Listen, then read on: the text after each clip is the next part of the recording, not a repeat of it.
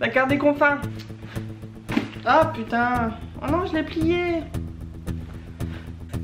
Tous et bienvenue dans cette nouvelle vidéo des 4 saisons du Book Haul. On se retrouve aujourd'hui pour tous les achats et réceptions que j'ai reçus durant le printemps et l'été 2021. Donc ça va à peu près de mars à septembre. Et sans plus tarder, on va rentrer dans cette vidéo avec des cadeaux d'anniversaire que j'ai reçus un peu plus tard en mai de la part de mes copines pour mes 25 ans. Et vraiment, elles ont mis la barre haute. Et si vous avez vu ma vidéo 25 livres pour mes 25 ans, vous allez reconnaître certains titres. Il ne fait aucun doute qu'elles ont été piochées dedans.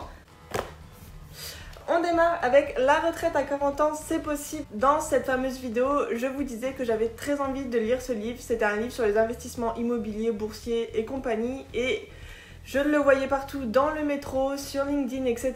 Et vraiment, il avait attiré ma curiosité. Je suis en train de le lire, même si, on va pas se mentir, je ne serai jamais en retraite à 40 ans. C'est super intéressant, euh, c'est un livre un peu sur la finance, etc. Et je m'attendais pas à aimer autant, mais vraiment, je trouve ça super cool. Donc je le lis de temps en temps, je découvre certains concepts. Et on verra, je vous ferai part de mes investissements en bourse peut-être un jour quand je serai multimilliardaire. Nous verrons, même si ça m'a l'air très peu probable.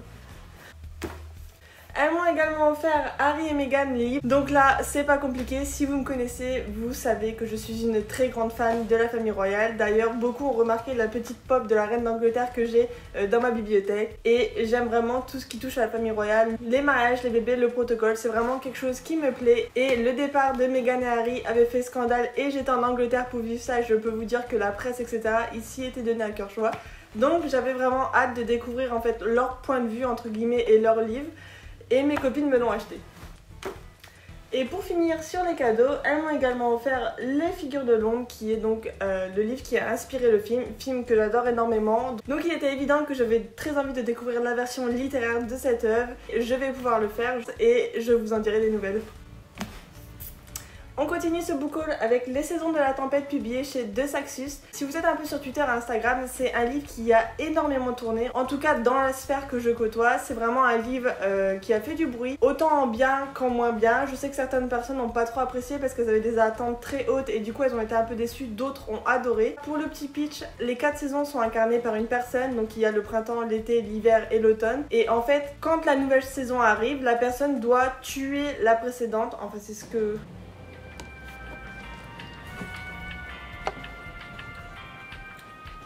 C'est ça. Mais je vais vous lire la phrase du livre qui sera plus claire. Jacques a choisi de vivre et en échange, il est devenu un hiver, une incarnation physique de la saison sur Terre. Chaque année, il doit chasser la saison qui le précède. L'été tue le printemps, l'automne tue l'été, l'hiver tue l'automne et le printemps tue l'hiver.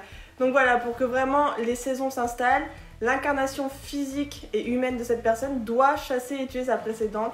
Et comme vous vous en doutez, il va y avoir des péripéties, dont une histoire d'amour entre l'hiver et le printemps. Je l'explique sans doute très mal, mais voici à peu près le topo du livre. Et quand j'en ai entendu parler, je me suis dit que c'était vraiment une très bonne idée que les saisons soient incarnées en fait. Donc je pense qu'on est dans une dystopie, fantasy, ce genre de choses et c'est totalement le genre de livre que j'aime. Donc j'avais très hâte de l'acheter. Vous savez peut-être ou pas, mais De Saxus, c'est cette maison d'édition qui propose toujours une édition collector reliée et une édition brochée en papier classique.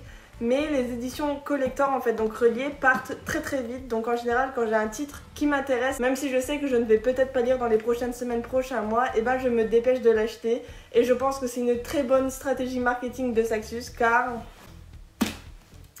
car sur le même principe, j'ai acheté la Duprix de Guenièvre. Donc ici, on va parler en fait, c'est une réécriture de l'histoire du roi Arthur. Mais on va plutôt traiter l'histoire du point de vue de Guenièvre. Je vais vous lire l'accroche et ça va vous résumer toute l'histoire. Une terrible menace pèse sur le jeune roi Arthur. La seule personne qui peut le protéger est sa femme Guenièvre, mais elle n'est pas celle que vous croyez. Donc telle l'influenceuse influençable que je suis, parce que comme le disait Emma dans une de ses vidéos, euh, je suis comme elle, je suis plus influençable qu'influenceuse, et eh ben j'ai acheté.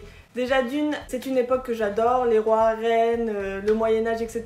Et en plus, on va traiter l'histoire un peu plus du point de vue féminin, donc de Guenièvre. Et jusqu'à maintenant, le roi Arthur, on va pas se mentir, c'était quand même un truc de bonhomme. Le roi Arthur, c'est le roi avec ses chevaliers. J'ai rarement vu un chevalier être incarné par une femme, sauf dans le truc de Disney Channel. Comment c'était ce truc?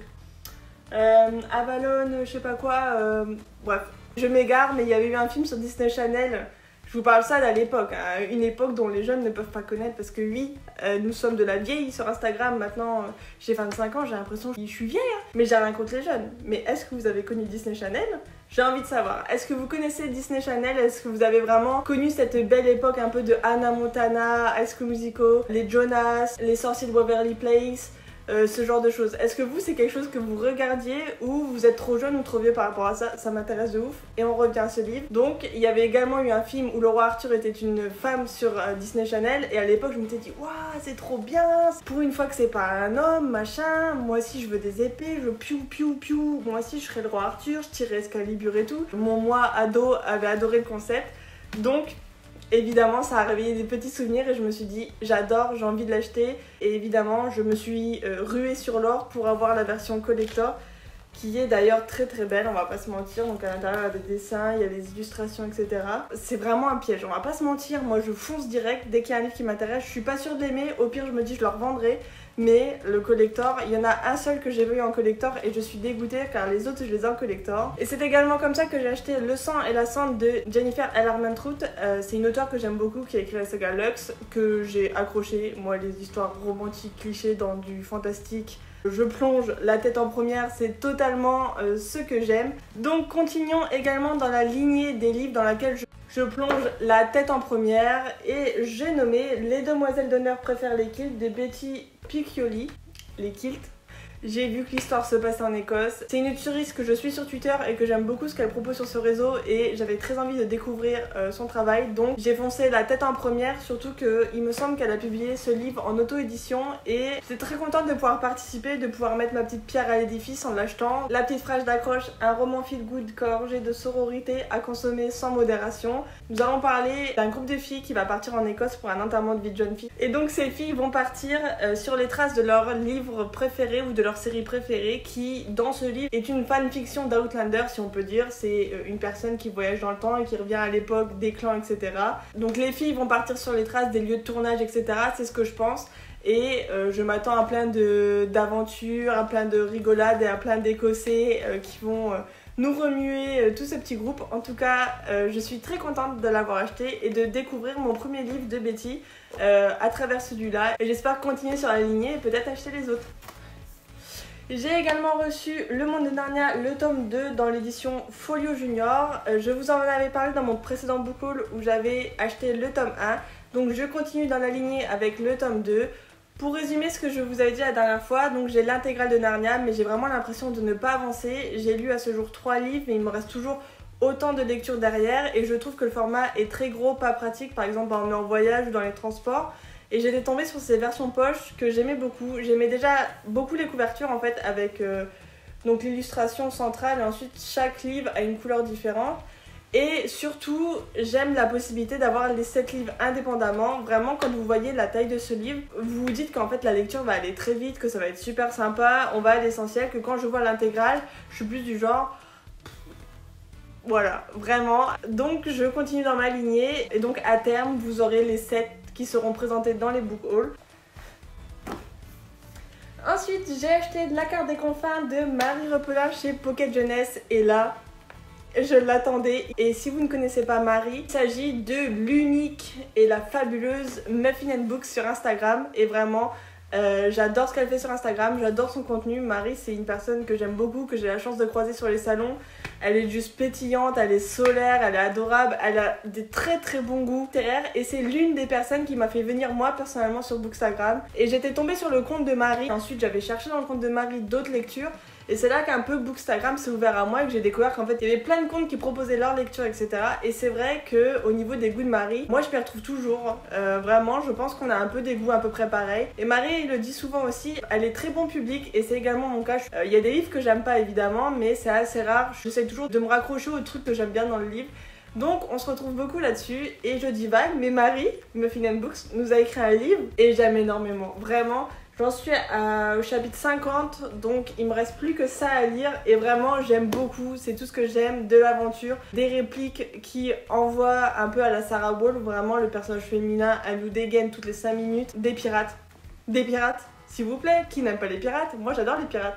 Donc si je devais décrire ce livre, je vous dirais personnage badass à la Sarah Wolf, pirate tel pirate des Caraïbes et une romance évidemment. Donc moi j'ai foncé. Donc je vous en dirai un petit peu plus dans un update lecture vraiment, mais euh, je vous le recommande même si je ne l'ai pas fini. Mais attention, je vais mettre un petit, vous savez, un petit astérix. Donc je vais mettre la petite astérix et l'astérix est que j'ai entendu dire que la fin était assez moche. Parce qu'a priori, il y en a plein qui voient la fin et qui se disent Ah non, non, non, non, je peux pas attendre le tome 2, il me le faut tout de suite. Genre la fin, elle est cruelle pour le lecteur. Donc je vous mets en garde avec ça. Petit astérix. Marie nous a fait cette fameuse autrice qui, à la fin, elle nous laisse sur un. Je sais pas, sur un coup de Trafalgar, sur du suspense intenable. Je, je sais pas exactement de quoi il en sort, mais j'ai vraiment entendu dire que c'était long d'attendre le tome 2. Et tome 2, je pense qu'il y aura, car en ce moment, je vois Marie euh, faire des échanges de correction avec son éditeur sur Instagram. Donc je suppose qu'il y a un tome 2. Donc je vais peut-être me retenir pour lire la fin. Et comme ça, une fois que j'ai le tome 2, je finirai. Je vais peut-être faire ça, ça m'a l'air d'être une bonne stratégie. Je vous en dirai un peu plus plus tard dans une vidéo.